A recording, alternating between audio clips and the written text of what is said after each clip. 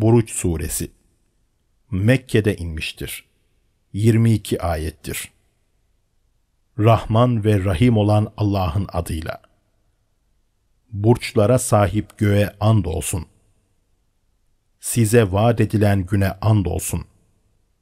Tanıklık edene ve tanıklık edilene and olsun ki herkes yaptığının karşılığını görecektir.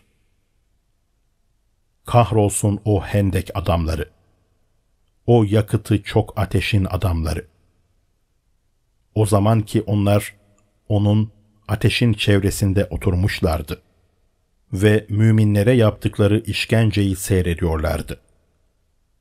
O müminlerden öç almaları, sırf göklerin ve yerin mülkü, egemenliği kendisine ait olan üstün ve övgüye layık Allah'a inandıkları içindi.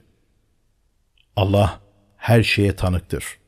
Her şeyi görmektedir. Şüphesiz mümin erkeklere ve mümin kadınlara işkence edip sonra tövbe etmeyenlere cehennem azabı ve yakıcı ateş azabı vardır.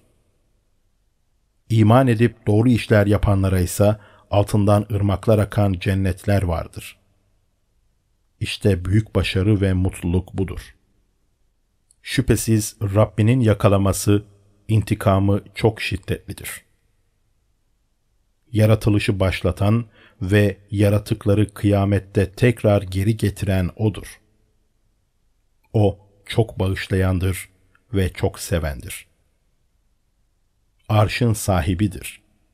Yücedir. O her dilediğini mutlaka yapandır. Orduların öyküsü sana geldi mi? Firavun ve Semut ordularının başına gelen felaketlerin öyküsü. Oysa kafirler Kur'an'ı yalanlayıp dururlar. Allah onları her yönden kuşatmıştır. Gerçekte o yüce Kur'an'dır.